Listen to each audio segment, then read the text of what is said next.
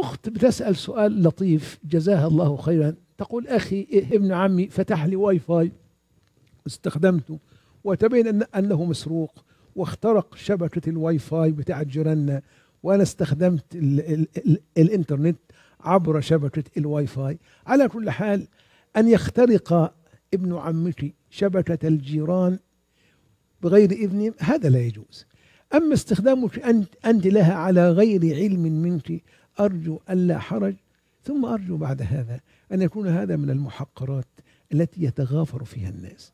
على سبيل الورع والاحتياط نعم أخت بشر الحافي سألت أحمد بن حنبل تقول له نحن يعني يمر أو يسقط في دارنا شعاع يأتي من من إيه من نور قدم من الخارج. هل أغزل في هذا الشعاع؟ عايشين في هذا المكان في نور في الشارع مساء فسقط النور في بيتنا. هل يجوز لي أن أغزل في في في, في هذا النور في نور هذا الشعاع؟ فقال من أنت يرحمك الله؟ تعجب من السؤال. ومن دقة السائلة ومن حرصها على دينها. من أنت يرحمك الله؟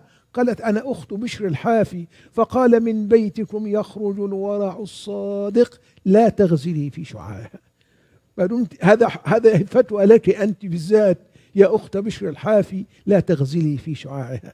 فما أجمل هذا وما أحلاه.